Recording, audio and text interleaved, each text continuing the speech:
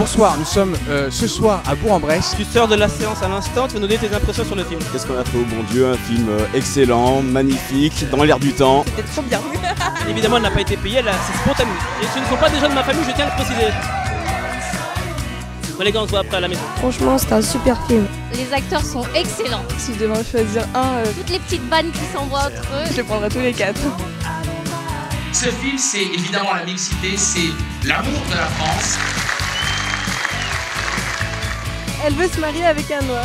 Elle a à peine 16 ans, elle est malade elle. Hilarant, à voir absolument. Euh, ça fait plaisir à voir. Les blagues fonctionnent très bien, des répliques bien senties. Ce serait bien qu'il y ait une m'embrasser.